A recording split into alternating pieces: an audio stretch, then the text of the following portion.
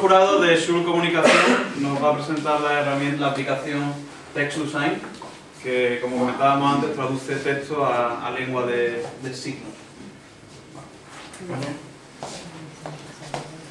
Pues muy buenas, soy Alfonso, eh, trabajo bueno, en una agencia de publicidad y hoy os quiero presentar un poco uno de los proyectos, o que digáis, bueno, ¿por qué un, software de, traducción a lengua de signos una agencia de publicidad? Somos un poco especiales, tenemos una fundación.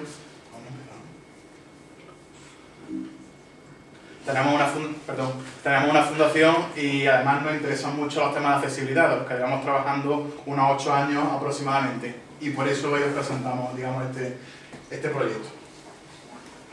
Eh, TextoSign básicamente es un traductor de texto a lengua de signos, de forma que al final obtiene un vídeo eh, animado en, tres dimensiones. Digamos eh, que esto lo, hacemos de forma automatizada, introduciendo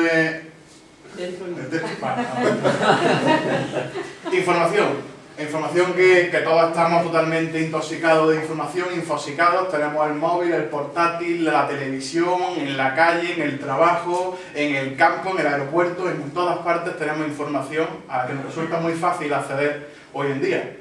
Sin embargo, hay un sector de la población al que, que tiene serios obstáculos en acceder a él, ¿no? que es el, el de los discapacitados auditivos o de sordomudos digamos que estas personas se encuentran en su día a día con barreras a la hora de poder acceder a esta información a la que a nosotros nos resulta totalmente eh, cotidiana.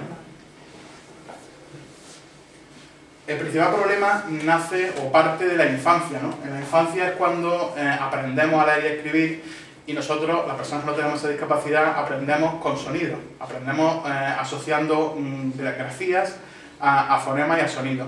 Como estas personas con esta discapacidad no pueden acceder a esa información en sonido, tienen dificultades a la hora de leer y de escribir. Se han tenido, hay, hay exactamente dos corrientes, digamos, que son los sordomudos que pueden, que, signan, que tienen lenguaje de signos, y los eh, sordomudos que leen los labios. Estas personas sí han hecho una formación más específica para poder eh, comprender mejor la lengua, la lengua escrita al más puro estilo Yoda, eh, digamos que la lengua del lenguaje de signos es muy compleja, ya que no solamente se trata de traducir palabras textualmente, sino que cambia. Por ejemplo, el gato desobediente come pescado blanco sería en lengua de signos gato desobediente, pescado blanco, comer. Otro de los problemas que tiene la lengua de signos es que, al igual que el resto de, de idiomas, en cada país, en cada región, hay una lengua de signos diferente la lengua de signos catalana no es igual que la lengua de signos española.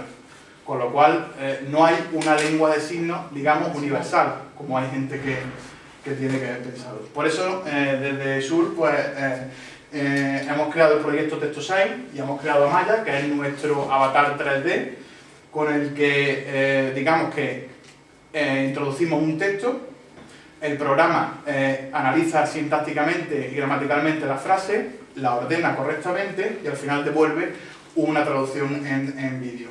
¿Dónde podemos integrar eh, esta, tecnología? Pues en páginas web, por ejemplo, con el símbolo universal de, la lengua de signos, integrándolo en cualquier texto de forma que sea transparente o más transparente posible para las personas que no tienen discapacidad y sin embargo que para las personas sordomudas puedan clicar y ver ese, ese vídeo automáticamente. En audiovisuales, todo lo que sea en contenido de televisión, Ahí podemos eh, crear eh, la traducción y sincronizarla con la voz al mismo estilo que se realiza con, los intérpretes físicos que actualmente hay, pero de una forma, digamos, mucho más automatizada y pudiendo dar cabida a más, a más contenido, más rápido.